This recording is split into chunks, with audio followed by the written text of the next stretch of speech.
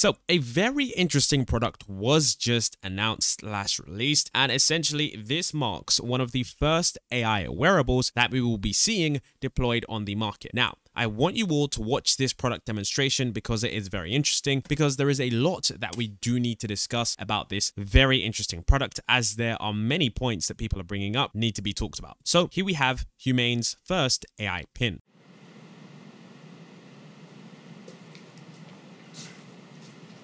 Welcome to Humane. This is the Humane AI Pin. It's a standalone device and software platform built from the ground up for AI. It comes in three colorways got Eclipse, Lunar, and Equinox. There's two pieces a computer and a battery booster. Now, the battery booster powers a smaller battery inside the main computer and this is how we achieve our all day battery life. So if you ever exhaust the booster, you just reach into your pocket or bag and hot swap it. This is a perpetual power system that allows you to use your AI pin for as long as you want. There are no wake words, so it's not always listening or always recording. In fact, it doesn't do anything until you engage with it. And your engagement comes through your voice, touch, gesture, or the laser ink display. It also comes with its own connectivity built right in, our own Humane network, connected by T Mobile. We were able to pack a lot of technology into something really small. It runs a Qualcomm Snapdragon chipset, and that means it's really fast, which is crucial for AI. It's got an ultra wide RGB camera, depth sensor, and motion sensors. And it's got this really special speaker that creates this bubble of sound. It can be really intimate or it can be really loud. It has an indicator that we call the Trust Light that is built directly into the AI Pin's hardware via a dedicated privacy chip. The Trust Light indicates when its input, optical, or audio sensors are active, ensuring full transparency and data security. The AI Pin privacy chip also protects it from being exploited, which means if it's ever physically tampered with, it will require service from Humane to restore operation. The AI pin comes with a beacon that lets you know when it has something for you, like messages from trusted contacts or services like cars or food as they come available online in the future. We don't do apps. Humane's OS runs AI experiences that are on device and in the cloud. The OS understands what you need and picks the right AI in the moment. What this means is that you no longer have to search for, download, or manage apps. These AIs are streamed on demand at the speed of thought. Let's play some music. Play the song How Music Makes You Feel Better. We've partnered with Tidal, which you get out of the box, and you can do some amazing things. Really cool things driven by AI, like play music written by Prince but not performed by Prince, or play songs from famous sci fi films. Got my music controls. If I go to the left, I can go back. If I go to the right, I can skip. If I was to go down, I can pause. And to get back to my home screen, I just close my hand. Okay. Got my clock, weather, the date. If I tilt my hand up, got nearby tells me everything that might be around me and where I am at the same time. I can also use it to ask questions like when is the next eclipse and where is the best place to see it? This is an AI browsing the web or grabbing knowledge from all over the internet. The next total solar eclipse will occur on April 8th, 2024. Best places to see it are Exmouth, Australia, and East Timor. I can use it for messaging either by voice or laser. Tell Andrew I'll be there later tonight. Your message to Andrew says I'll be there later tonight. Okay to send? Make me sound more excited. Your message to Andrew says I'll be there later tonight. Can't wait. Okay to send? Yes. One of the things I like most about messaging is getting caught up my AI summarizes what's important, so I don't have to go back and read every message. Catch me up. Yanir asked if you want to get hookfish with Sam this week. Michelle sent some notes about today's design sync. Andy and Adam are on their way over.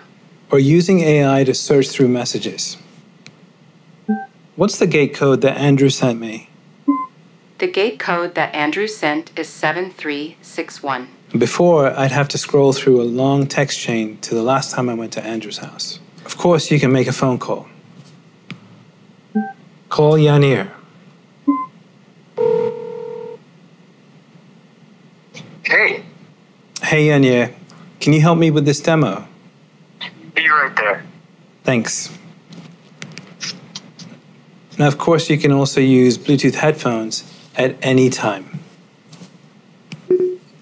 Estamos casi listos para enviar la versión final. We are almost ready to ship the final version. Great. I can't wait. Thanks so much. Genial. No puedo esperar. Muchas gracias. So, what happened there is the AI auto detected Spanish, interpreted to English, and replied back to Yanir in Spanish with my intonation. I can also force it into any language I'd like to speak or understand. With computer vision, the AI can recognize objects, and we're starting with health and nutrition. I've got goals that I've set up in my AI that I no longer need to think about. How much protein? These almonds have 15 grams of protein. Great. I'm going to eat it. Enjoy it. And later I can ask, How much protein have I had today? You have had 22 grams of protein today. It's really cool. When it comes to retail, the AI pin allows you to shop in the real world, hold up an item to learn more about it, and transact seamlessly on the go without relying on screens. How much is this online? This is $28 online. Great. Buy it. When you want to take a photo, just double tap. Or video, staying in the moment, capturing the whole scene, and generating a gorgeous image. It'll remember everything you input into notes and then recall what's relevant. Where should Ken and I grab dinner tonight? Here are some recommendations for you Sushi Ran, Shizen, and Elephant Sushi. Now, how did it know? Because I had input a note a while ago that Ken likes sushi. To manage and access all your data, including photos, videos, and notes, Humane provides a central hub called Humane.center. This platform is designed to simplify your interaction with the AI pin from setup through daily use. When you purchase the AI pin, you're asked to onboard with Humane via a privacy protected portal. By sharing information with the AI pin up front, you're ensuring that by the time you take your personal AI pin out of its box, the device knows you and your preferences. Let's take a look at accessories. We'll start with our clip that we've designed that allows you to wear the AI pin on any large article of clothing and attach it onto handbags as well. It has a clip that can extend and really get onto any kind of thickness. I'm going to take this one and attach it like so. It's magnetic, just like all of our accessories, and I'll put it on Bethany so you can see how it works. So I'm extending the arm, and then I can rotate it however Bethany wants it to go. We've also got this latch, which is a lightweight adapter that is really great for wearing it on thin or delicate clothing, like a silk blouse or workout apparel where you want it to be really low profile. The other thing that we've designed here are some shields. These shields come in different colorways and they allow you to simply configure and protect the AI pin in a completely different color. And one last accessory we'd like to show you is our charge case. This charge case can hold your entire AI pin along with a battery booster in it for travel, but also for charging. It has a built in battery that allows you to slip in the AI pin and it will charge it for more than one charge. It's USB C powered and super easy to carry and very rugged at the same time. Okay, so the details. The AI pin starts at 699 for the complete system. This includes an AI pin, charge pad, cable, and adapter, along with a charge case and an extra battery booster. You'll also get the syncing and storage of all your photos and videos, full access to our growing suite of AI powered services with no limits on the number of queries you can pose, along with unlimited talk, text, and data with a dedicated cell phone number for your AI PIN via the Humane Network, all for just $24 a month. We are so excited to finally unveil the AI PIN and can't wait for you to begin trying it for yourselves. It is our aim at Humane to build for the world not as it exists today, but as it could be tomorrow. One where we can take the full power of AI everywhere and have it weave seamlessly into our everyday lives. For us, the AI pin is just the beginning.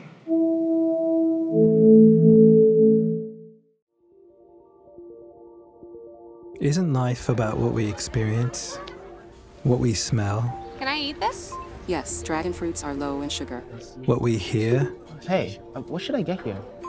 我在这里该点什么呢？哇，这回数中。What we see? Oh. Capture this. City. And what we feel? What if we build more memories? What are some fun things to do nearby? Share more moments. Can we play songs from the last time we were here? what would happen if we rediscover our senses? What if devices went the experience? Catch me up. Lucy called and your flight is at 7 a.m. Tell Lucy I'm on my way. What if life was? AI Pin. Okay, so I've seen that this product has received quite a lot of hate, and it's understandably so. When there's a new technology deployed, a lot of the times what we tend to do is we tend to reject that technology until it does become mainstream, because of course, we are pretty skeptical as humans. Now, here is one tweet that I did find that pretty much sums up the net positive that this, you know, technology is going to be bringing. It says, value here is spending less time on your phone. You can create more special moments in life with technology, and this is the beginning of spatial computing slowly disappearing in the background. And I couldn't agree more. We have to understand that a lot of the times, many people have complained about in society how so many of us, even when we're outside with our friends, we are just simply glued to our phones. And although we are social with our friends, we're more so glued to a different social world. And that is definitely quite incredible because, as you know, with the rise of social media, it was meant to be an invention that actually gave us more social connection. But in a sense, it actually, on some, ripped it right away because, as you know, sometimes in public, people are on their phones, they're not engaging. And I think with technology like this that is quite hands free and has a range of capabilities, I think it's also going to be something that does work, especially since it's one of the first technologies to incorporate this new GPT technology, which means it's going to be more effective than the past technologies. Then, of course, we do have another cost here, and I do want to break this down so people understand understand. One of the things that is, of course, pretty interesting is the price. The price of this is very, very steep. Now, they've priced it at around $700, which means that this is not priced at the average consumer. So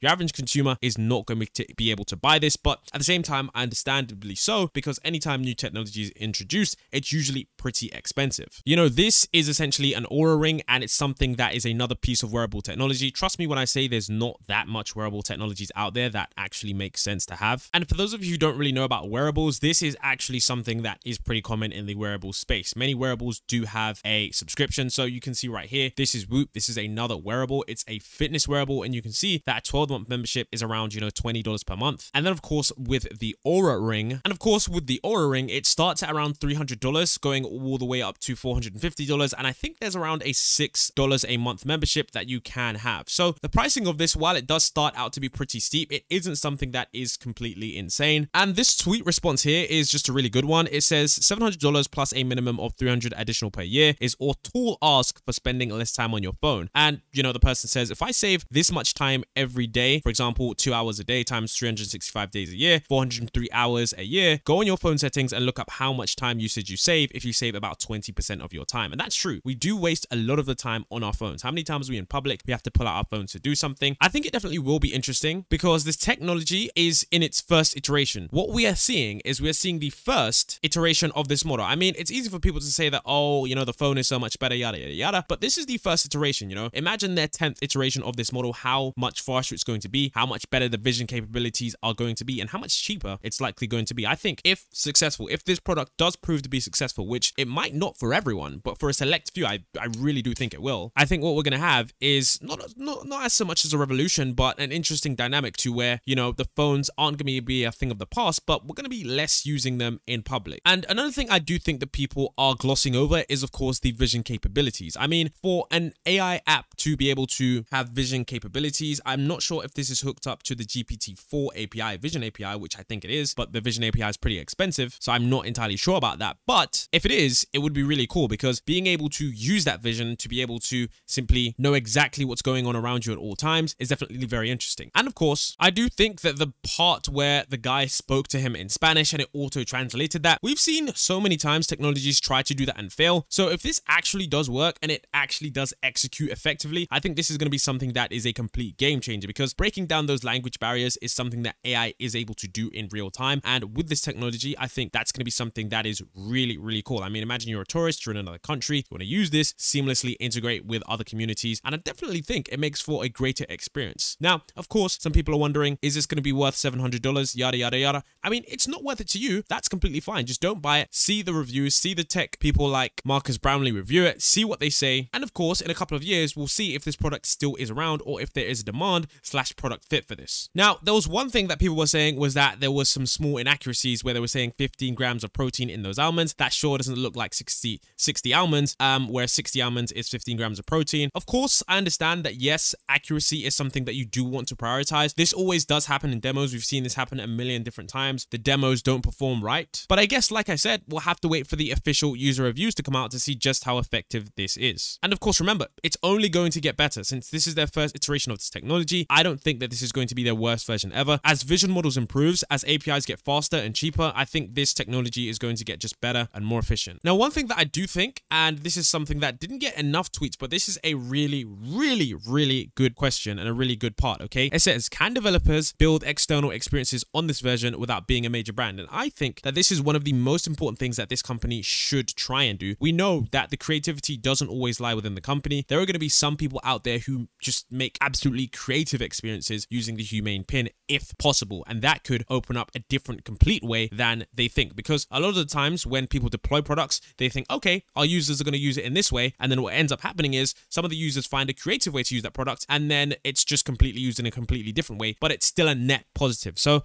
I think that could potentially happen. So I did actually just ask ChatGPT for some examples of where technology gets transformed into different ways. And this isn't technology, but it is just a, just a simple example just to illustrate how these things happen. You know, Play-Doh was a modeling compound that started as a wallpaper cleaner, but of course, as you know, it's now the thing that kids use to make those small little squishy creatures. But what I'm trying to make is that I think if they give developers to be able to build experiences on this without being a major brand, that's going to be huge for the company because people's creativity is absolutely insane. We've seen ChatGPT being used in insane ways once they give an API access to a bunch of people. With the Vision API only a couple of days ago, if you watch our previous video, you'll know that the Vision API is absolutely stunning what people have been able to do with that. So I think that will be the very, very next stage in evolution for Humane, and I really do want that if that is possible. Overall, I think this product is a net positive. I don't think it's as bad as people are making it out to be. But like I said, time will tell to see if this technology sticks on. I personally think that AI is around to stay. AI assistants are also definitely around to stay. This product does continue to gain traction and momentum. I think it's going to be a big competitor. And I do think that a large company may buy them out. I would say Apple would buy them out. But what's funny enough is that this company was actually founded